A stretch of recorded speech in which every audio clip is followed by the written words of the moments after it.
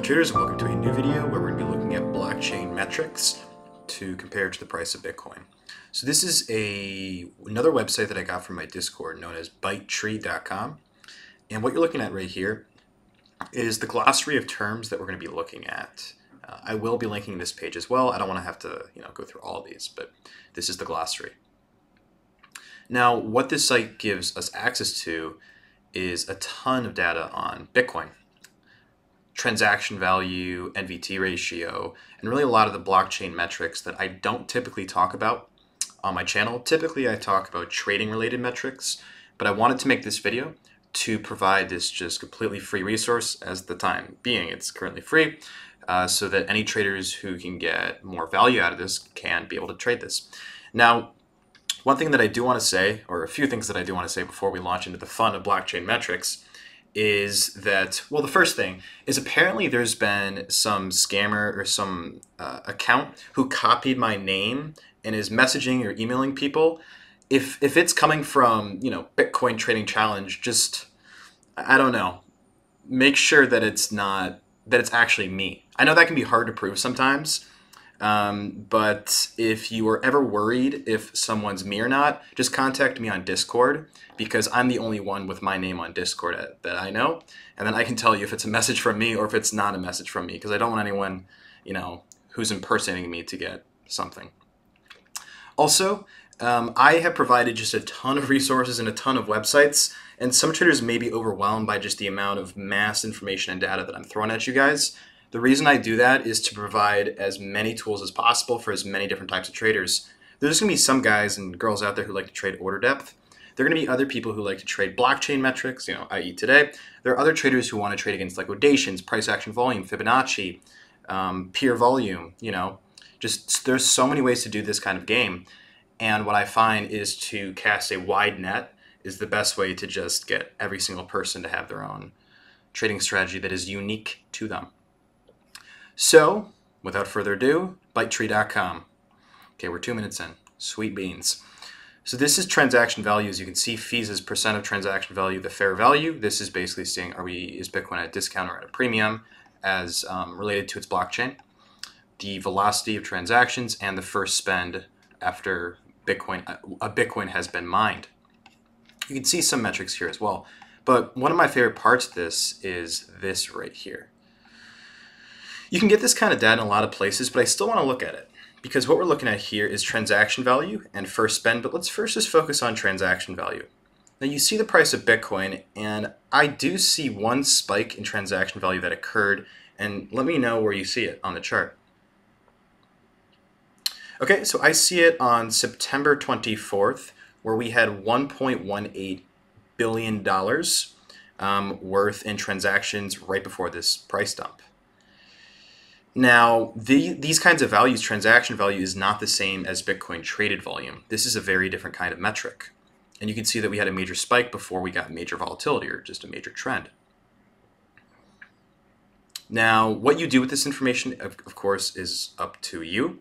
Um, but maybe the way that you can interpret it is this could be a sign for higher volatility. If you see many transactions that are getting larger and larger, you could expect that in the near future there could be high volatility, which you could take advantage of using options or using some other um, directional uh, trading opportunities as well. So you can see here, there's just so much data. And I'm not going to be able to just parse through everything. And I also want to keep this video kind of short.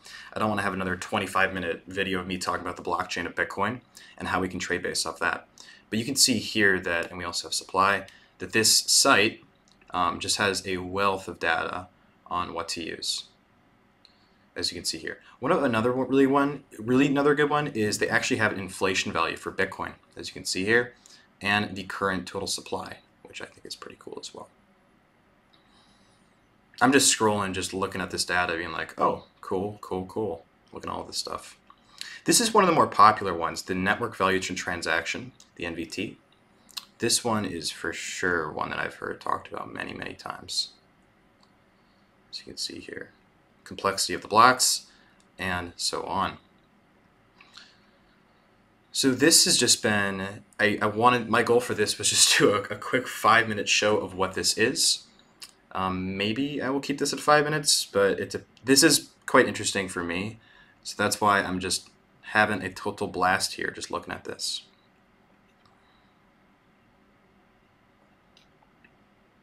Dear.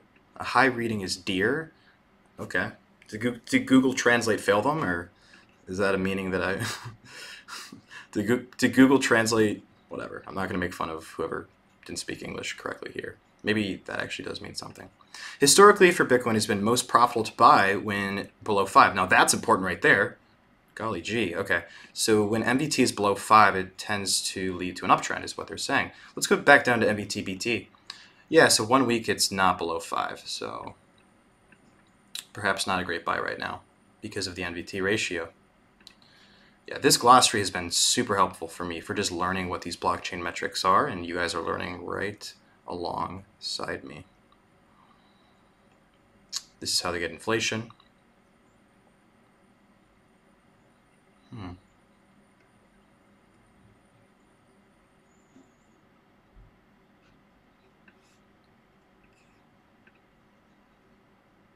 Transaction value. This is this is one of the ones that I had mentioned. As you can see here, supply, relative high, relative low. And it's not just Bitcoin that this has. This also has, when I go home, you can see Ethereum. Uh, does it not do Ethereum? Wait, I, I, I misspoke. Uh, Bitcoin Cash, but let's look at Litecoin. Let's look at the Litecoin blockchain metrics.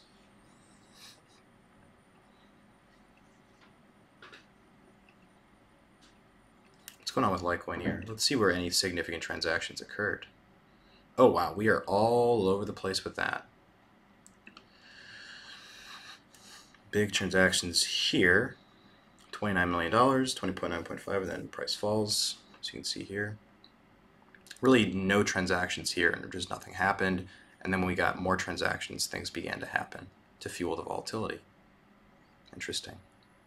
What's this guy's NVT? Oh, this guy's NVT is much lower. So yep, that's going to do it. I did not reach the goal of having this just be a five minute video. You know, that was a pipe dream of mine. But what I wanted to do with this video is to just give you guys a platform, to give you guys just this free resource that you can use um, for blockchain metrics. Now, can you apply all this to Bitcoin trading? Not exactly. You can apply, you can apply some of this to Bitcoin trading, um, medium term and potentially more longer term.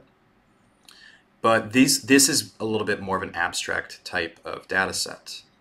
Now, if you're interested in learning any more about uh, different ways of trading, I have two guides in the uh, links in the description below. And also what I want you guys to do is this was one of my Patreon suggested voted videos. If you guys have any other videos that you'd like to vote, then you can click my Patreon, join it, and vote on or suggest any video that you would like to, to see in the future. With that, happy checking the blockchain, and let's hope that NVT ratio gets a little bit lower.